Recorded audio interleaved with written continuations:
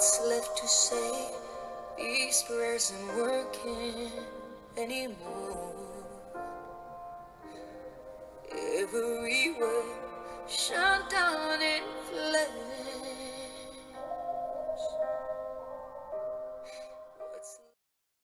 How's it going everyone? My name is Where Don't Care My Name is and here we go with my review for the final episode of Star Wars The Clone Wars Victory and Death. That's right, this is it. They're done. They're not making any more episodes. This is the last one.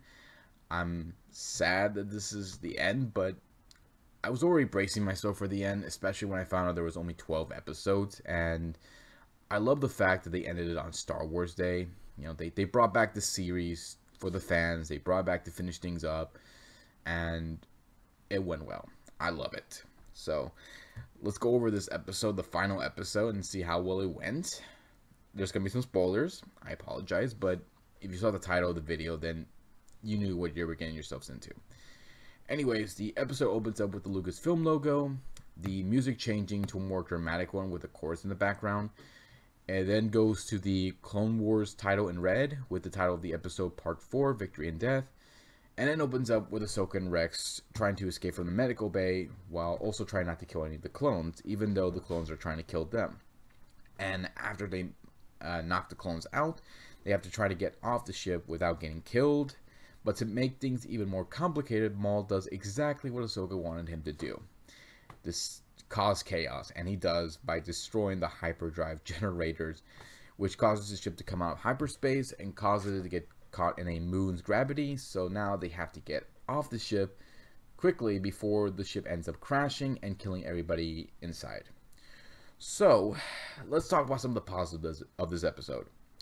Maul being such a badass. Without his lightsaber, Maul can do so much damage and can still just kick everyone's ass, and he does. And here is proof of that when he ends up destroying the hyperdrive generator and the animation for it how he's doing how it looks is so beautiful and the music in the background mwah, love it it's perfect the other part of this episode i love is ahsoka doing all she can not to hurt the clones she doesn't want to kill them but when they are you know the ship they're trying to get to is blocked off by the clones she knows that they have to try to find a way to get to it without hurting them but rex tells her like, look, these clones don't care if you don't want to hurt them. They're gonna kill you. They're they don't have a choice. They're gonna try and kill you one way or another.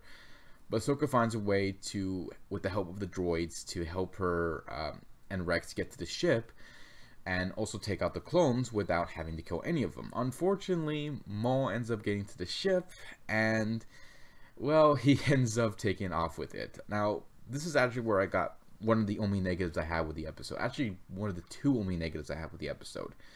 The first one is Ahsoka trying to stop Maul from escaping. She's using the Force, trying to keep him from escaping. And while she's doing that, they're being shot at. Rex is doing all he can to protect her and shield her from the clones.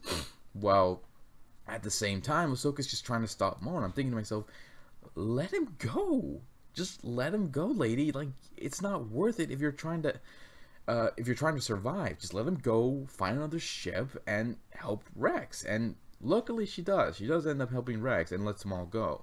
So we now know how Maul ends up escaping. So Ahsoka ends up helping Rex. They end up finding another ship in below the hangar bay, and just as the ship is descending into the planet, causing it to pretty much break apart, Rex gets under the ship, but Ahsoka ends up falling out of the ship, so now he has to save her. And Ahsoka, even as she's falling, she finds a way to use the debris around her to try to help her get to the ship where Rex is at.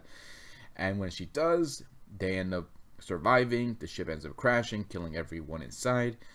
And so Rex and Ahsoka ends up burying as many of the bodies as they can, leave their helmets on a stick, and we see Ahsoka hesitating to drop her lightsaber to the ground. And I love this scene a lot because she didn't need to say anything. No dialogue was needed for this scene. Just her expression alone and her hesitating to drop her lightsaber was enough to make this work. I love the scene. They did a great job with it. Um, and then we cut to months later where we see, well, I'm assuming it's months later, we see the, uh, the moon covered in snow, covering up the debris of the ship and the bodies of the clones. We see Darth Vader arriving, finds Ahsoka's lightsaber, and again, much like with the scene earlier, she didn't Vader doesn't need to say anything. No dialogue is needed to be said. He finds her lightsaber, he just stares at it, activates it, and then just deactivates and walks away. Just that was good. I love how they, you know, focused a lot on that scene. And then we see the ending with the close up on the clone's helmet. And that's how they ended the se- the the series. So I love it. I love how this ended. I love how you know how it all went. The other only negative gripe I had was I wish they had played that same music as the end by the end of Revenge of the Sith, where we see Obi Wan dropping off uh, Luke with his and uncle. I kind of wish they had played that for the end of this episode, but it's still fine. I still love it. So, Star Wars: The Clone Wars season seven, a great way to end the series. Very happy how well it went. Very sad that it's over, but kind of expected that. The Clone Wars series had its a lot of great episodes, some bad ones, but a lot more better episodes than the bad ones. So that's pretty much it, guys. If you have a different opinion about the Clone Wars series, leave some comments below. Let me know what you think. Hit the subscribe button, check out my Facebook page, check out my Twitter page, check out T3 Media's channel, subscribe to their channel, keep up to date with the videos. And um, I will see you all next time give you more love and more entertainment. So until then, take care, guys. See you next time. Be safe and happy Star Wars Day.